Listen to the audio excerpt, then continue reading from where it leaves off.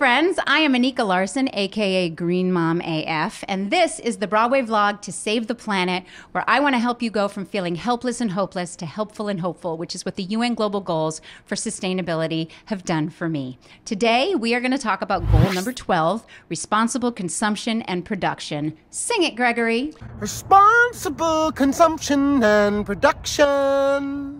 And here to talk about goal number 12 with us is Broadway costume designer Gregg Barnes. Hi, Gregg. Hi, how are you? Okay, Gregg, you have designed so many costumes in tons of Broadway shows. I'm going to list all of your Broadway shows for you right now, but I'm going to leave one of them out, oh. and I'm going to oh. see if you can choose. You can tell me which one it is. Ready? Okay. You can't look at my list. Sideshow, Flower Drum Song, Dirty Rotten Scoundrels, The Drowsy Chaperone, To Be or Not to Be, Bye Bye Birdie, Elf Follies, Kinky Boots, Aladdin, Something Rotten, Tuck Everlasting, Mean Girls, Pretty Woman, and Some Like It Hot. this is shocking. It was legally blonde. Oh. Yes, I know. No worries. We all have that problem where we've done so many Broadway almost, shows. I was going to open remember. with the bend and snap, so that's terrible that I forgot that. Ooh, yes, we'll save that for the outtakes. the bend and snap coming later. So, global goal number twelve, Gregg. What is the goal of this goal? It is to ensure sustainable consumption and production patterns. Sing it, Gregory. Ensure sustainable consumption and production patterns. Okay, but actually, what does that actually mean? What that means mm-hmm. is that our planet has provided us with an abundance of natural resources, but we haven't utilized them responsibly and currently consume far beyond what our planet can provide. We need to accelerate using and producing in sustainable ways that will reverse the harm that we've inflicted on the planet. Mm-hmm. It's a big ask, but there are lots of people and organizations already engaged in doing this. Yes, that's right, Gregg. Okay, so we, where we are right now, is out in Astoria, Queens, at the historic Kaufman Astoria Studios, which is the home of the Theater Development Fund, aka the TDF Costume Collection, which is doing amazing things in our industry to help achieve goal number 12 and many other goals. Can you please tell everybody what this place is? Uh, the costume collection was uh, established by the Theater Development Fund many, many years ago. I think like 40 years yeah, ago, yeah. 40 mm-hmm. years ago. And it is uh, a place where costumes that are no longer serving a particular purpose get donated mm-hmm. so that other people can access them and use them. Mm-hmm. They have like 85,000 costumes and accessories here. So if you're a high school in Milwaukee, mm-hmm. or if mm-hmm. you're a Broadway show, or mm-hmm. if you are just whatever your your current situation is, and if you're in need, this is a place where you can come and access amazing quality and beautiful garments. Works of art on a sliding scale. So it doesn't matter your budget. If you tell them your budget, right. they will work with you. So everybody, that's global goal number 10, reduced inequalities so that everyone has access to resources and beauty. That's it. Mm-hmm, mm-hmm. And so you've been using this place all your life, I yeah, imagine, yeah. as a designer. That's and, right. Yeah. When, when I, uh, I, I came here to go to NYU and got a job teaching there in their undergraduate department, and they mounted a lot of shows at the undergraduate department. Mm-hmm.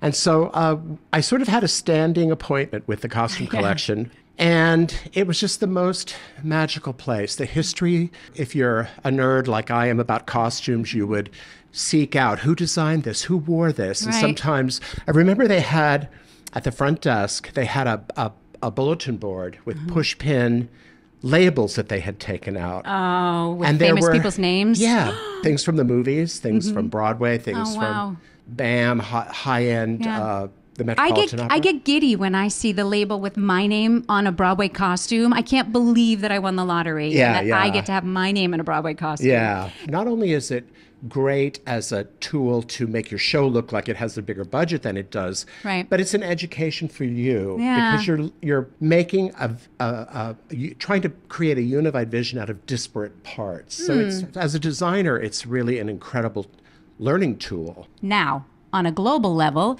if we widen the lens out from Queens and we think about some of the targets for this globally, they are the targets. Sustainably manage and use natural resources. Cut global food waste in half and substantially reduce waste generation. Responsibly manage chemicals and waste. Encourage companies to adopt sustainable practices like reuse, that's the circular economy, baby promote universal understanding of sustainable lifestyles, which is what we're doing today. It is, and support developing countries in moving towards more sustainable patterns of consumption and production. And develop tools to monitor sustainable tourism. Yes. These are big targets, right? And you might be wondering out there what you can do to help.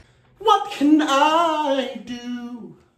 Our problems can seem so massive, and the solutions to them can seem so overwhelming that we feel powerless. But we are not powerless. There's always something you can do, something you can manage to fit in your life. If we all just keep trying to do the next right thing, Do the next right thing. together we can achieve these goals.